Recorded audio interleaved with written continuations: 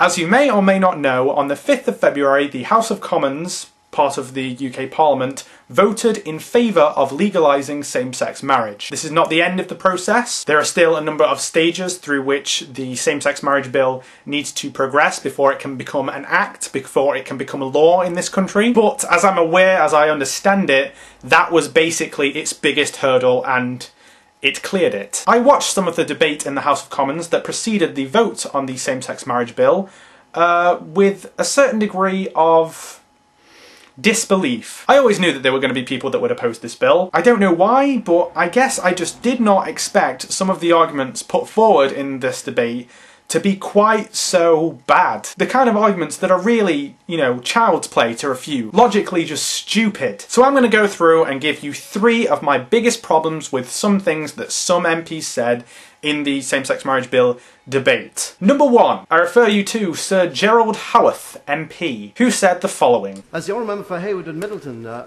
uh, pointed out, nothing like this has been proposed in Parliament ever before. This is a massive change. One of the reasons he argues against the bill is that this is a massive change and nothing like this has ever been proposed before in the House of Commons. This was in response to a lot of people saying, well, marriage has evolved over time, it's never been one separate thing, which is, um, it's uh, true. That's a true thing to say. The response is essentially, we can't change marriage because we've never changed marriage before. We can't change the law because it's never been changed. The really, really simplified, decanted version of this argument is we can't change the law because we can't change the law. Idiocy. Why would why would someone say that? Beats me, Gerald. Dumbass. Number two, the second thing that annoyed me about this debate can be found in the speech by Robert Flello. Towards the end of his speech, he said the following. So, Mr Speaker, marriage is the union of a man and a woman open to the creation of care and children not in all cases, but fundamentally, that is the intrinsic value of it. Let me repeat that. Marriage is the union of a man and a woman for the creation and care of children, not in all cases, but fundamentally that is the intrinsic value of it. So hang on, let me get this straight. The intrinsic value of marriage is that it's between a man and a woman for the creation and care of children. However, there are exceptions to this fundamental intrinsic definition that we accept for straight people but not for gay people. Essentially, marriage is for the creation and care of children, except when it isn't. Got ya, cock. The third thing that annoyed me about this debate was less a particular argument that was repeated again and again by the opponents of this bill, but more of a theme that permeated through a lot of what the opponents to this bill were saying. A lot of the people who were opposing this bill stood up and complained that they were being characterised as homophobic and bigoted while saying homophobic and bigoted things. I direct your attention to John Glen. I am very disappointed to have to rise to oppose this bill this afternoon. Yeah, yeah. I never imagined that I would be put in a position where I have, by virtue of standing up for marriage, been characterised variously as a homophobic bigot, yeah, as a religious nutter, as a product of the Dark Ages, or I see this weekend in uh, the press on the brink of making a tragic mistake which I will have many years to regret. Oh, you're upset that you've been characterised as a homophobe. Well, what is it that's making people think that you're a homophobe? Marriage is about love and commitment, but marriage is also about complementarity, both biologically and as a mother and father of a man and a woman, with an inherent probability of procreation and raising children within that institution. Oh, that's it. The fact that you're saying that marriage is based on the complementarity of men and women. But what exactly do you mean by complementarity? To my mind, there are two understandings of this. Men and women are complementary because they can procreate, which is true. But hang on, if that's why if that's why marriage exists, then surely there'd be some kind of provision or establishment regarding children in at least one of the laws regarding marriage in our country. Oh no, wait, that's not the case because that's that's fucking stupid. The fact remains, you do not have to have children in order to get married. You can't say that that is the sole reason, significantly the discriminating reason, that makes it unsuitable for gay couples when it is entirely unnecessary to have children to get married. This is all aside from the fact that, you know, gay couples can have children, but you know, whatever. The only other understanding of the complementary nature of men and women that I can see is with regards to men and women's relationships with each other. In other words, saying that the complementary nature of men and women makes their relationship when they pair together of greater worth and of more value than the love shared between two men and two women, which is very homophobic. So it really galls me that this dickhead, John Glen,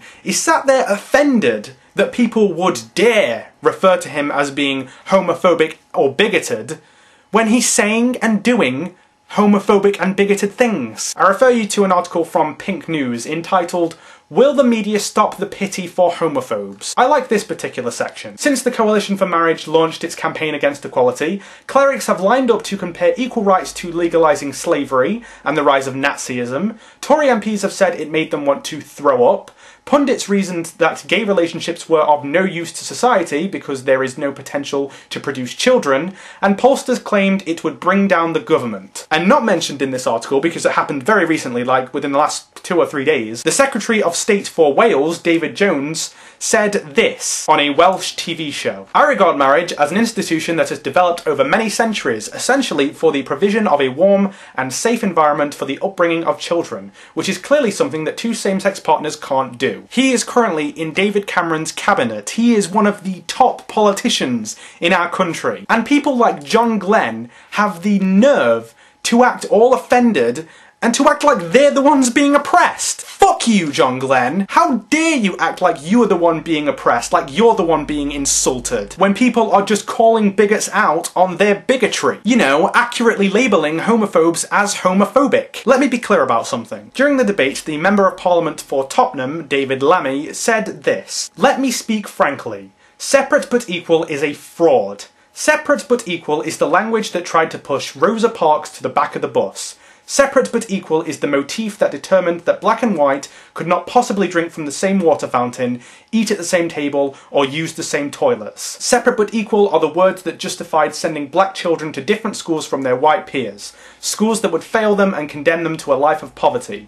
It is an excerpt from the phrasebook of the segregationists and the racists. You can claim that gay people have the same rights as straight people in the form of civil partnerships. You'd be wrong when you say that because, as I've said before, it is absolutely a right to be able to call your spouse your husband or wife rather than your civil partner. But I'll tell you this right now, gay people and straight people will never be equal as long as they are regarded as separate in law. The implication of saying that only straight people should be allowed to get married is that straight couples are superior. The love shared by a man and a woman is superior to the love shared by two men or two women. That is what you are saying. And as long as that is the case, a climate of homophobia and bigotry will persist. It will foster and it will justify homophobic language, homophobic abuse, homophobic bullying of gay students, as well as hate crimes in the form of harassment, assaults and murders. How dare anyone stand up there in the Houses of Parliament and act all offended that they're being called out for what they are. I don't know if any MPs will ever watch this video, but just in case any do,